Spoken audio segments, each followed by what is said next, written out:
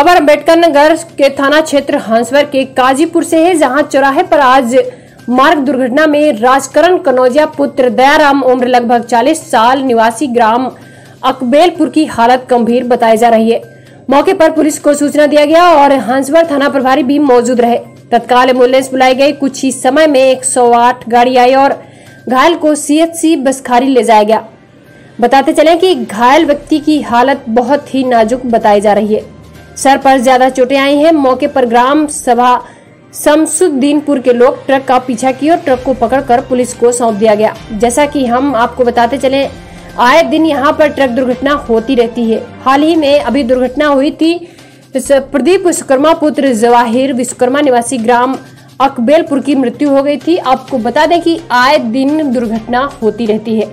इस मार्ग पर, लेकिन अभी तक शासन प्रशासन इस मार्ग पर ध्यान नहीं देते। इस रास्ते से गुजरने वाले ट्रक की स्पीड कम से कम 60 से 70 किलोमीटर प्रति घंटे की होती है।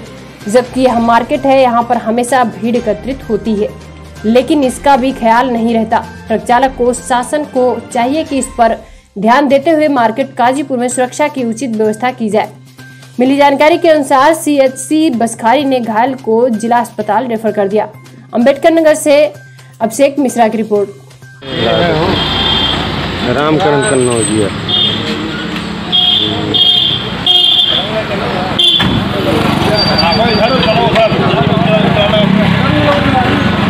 अगवा कहले भाई।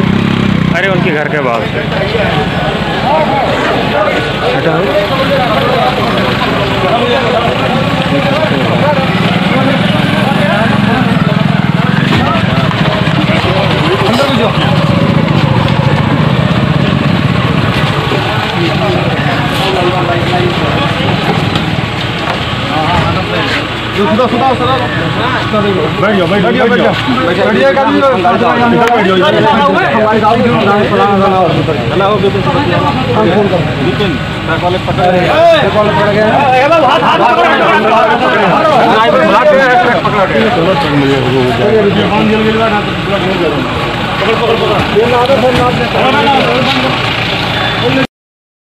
अगर खबर अच्छी लगी हो तो खबर को लाइक करें तथा चैनल को सब्सक्राइब कर बेल आइकन ज़रूर दबाएँ और शेयर करना न भूलें।